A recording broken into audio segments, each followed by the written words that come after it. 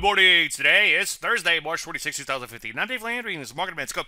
Well, the P's got whacked yesterday, down about a percent and a half. That scores, obviously, as a bummer. Puts them in the middle of their sideways range. Also puts them below their 50-day moving average. Nothing magical about that, but it can help to keep you on the right side of the market. I'm going to flesh that out in a lot more detail later today in the chart. So take a look at NASDAQ. Also whacked it here, down over 2%. It Looks like it's on its way to its 50-day moving average. Rusty scores is a big bummer. I've been saying forever, hey, as long as the Rusty remains at new highs, we can't have a bear market. Well, bam, losing down uh, almost 3% yesterday. Pretty ugly day there. So far, longer term uptrend remains intact, but obviously it's got to stop somewhere. No need to go through all the sectors. There's a lot of cornage out there, but some areas like drugs and biotech, so far at least, only appear to be pulling back and forming so called trend knockout type of patterns. Again, though, they have to stop soon. I'm going to flesh this out, he tried to say, in a lot more detail later today in the chart show. Hope to see you there. Any questions? As usual, Dave at DaveLandry.com. I'm Dave Landry, and you started Market Minute.